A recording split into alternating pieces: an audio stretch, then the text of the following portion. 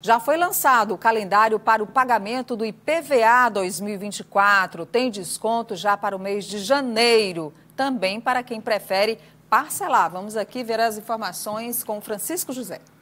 Na última quarta-feira, a Secretaria Estadual de Fazenda divulgou o calendário para o pagamento do imposto sobre o IPVA e da taxa de renovação do licenciamento anual de veículos para o exercício de 2024.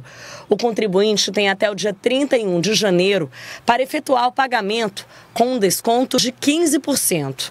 Pagando até 31 de janeiro, cota única, 15% sobre o valor do IPVA. Se optar por pagar em três cotas, dividir em três vezes, a primeira cota é 31 de janeiro, a segunda cota é 29 de fevereiro, que nós temos um ano bissexto agora, e a terceira cota 29 de março.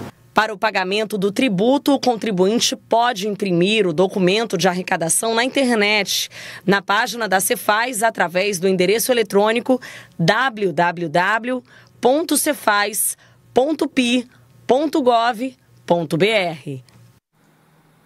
As informações da Hidria Portela, né?